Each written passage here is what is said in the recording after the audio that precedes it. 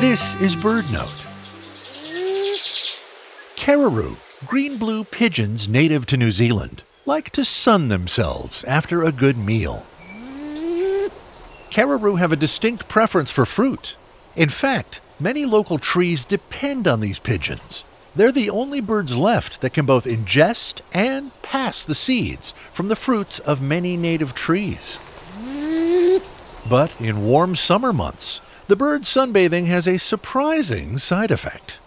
A part of their digestive system, called the crop, stores their latest snack, where it begins to ferment.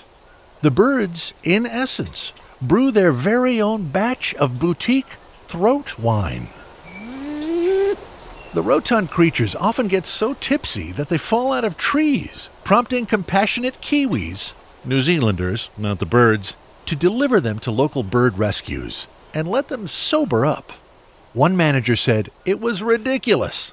People were bringing armfuls of these flaming drunk pigeons. In 2018, the citizens of New Zealand voted the Kererū as Bird of the Year.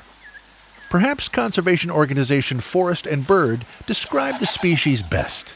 That absolute unit, the roundest boy, the devourer of fruit, the whooshiest of whooshes. For BirdNote, I'm Michael Stein.